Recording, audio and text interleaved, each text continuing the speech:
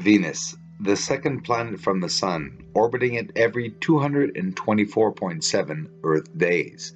It has the longest rotation period of 243 days of any planet in the solar system. Venus rotates in the opposite direction to most other planets, and it has no natural satellite.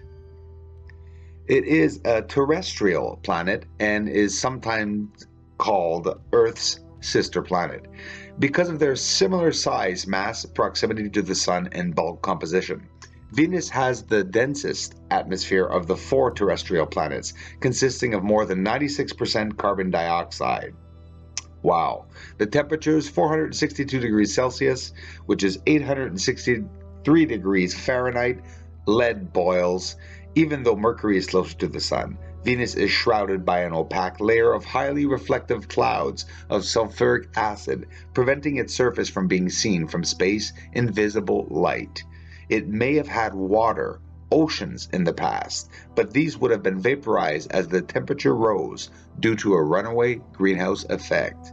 The water has probably photodissociated, and the free hydrogen has been swept into interplanetary space by the solar wind because of the lack of planetary magnetic field. Venus's surface is a dry desertscape interspersed with slab-like rocks and is periodically resurfaced by volcanism.